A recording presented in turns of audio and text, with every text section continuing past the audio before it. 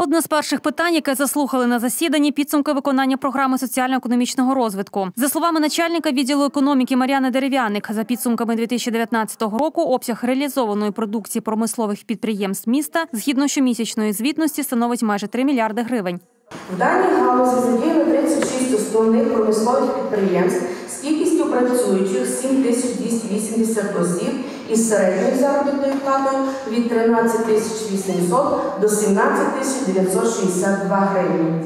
Вагоме місце по реалізації продукції даної галузі належить товариству Флекстронікс, товариству Фішер Мукачево, ПАК Мукачевський завод «Торшприлад», товариство Інтеркаштан, товариство Перспектива, Мукачевська трикотажна фабрика Мрія. Про виконання міського бюджету за 2019-й прозвітувала начальник фінансового управління Мар'яна Тоба. Міського бюджету надійшло 655,5 мільйонів гривень. Податки зборів та інших доходів. Рівень виконання становить 98,3%. Приріст надходження у порівнянні до аналогічного періоду минулого року становить 15,2%. З державного бюджету одержано субвенції на загальну суму 453 мільйонів гривень. У порівнянні відповідним періодом минулого року надходження офіційних трансфертів зменшились на 11,2%. По причині проведення монетизації з надання пільг та житлових субсидій населенню.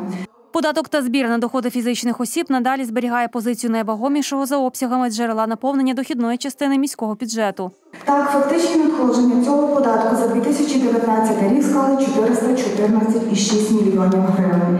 Рівень виконання складає 98,4%. Основними бюджетоутворюючими підприємствами, які сплачують найбільше суми податків на доходи фізичних осіб, залишаються завод «Флекстронік», філія Львівська залізниця, товариство Фішер та управління освіти, молоді та спорту Мукачівської міської ради. Також на засіданні схвалили проєкт стратегії розвитку Мукачівської ОТГ до 2027 року. Ну а 101 жителю Мукачівської ОТГ виділили матеріальну допомогу на загальну суму понад 3 мільйони 60 тисяч гривень. Більше про фінансові звіти будуть говорити на сесії міської ради.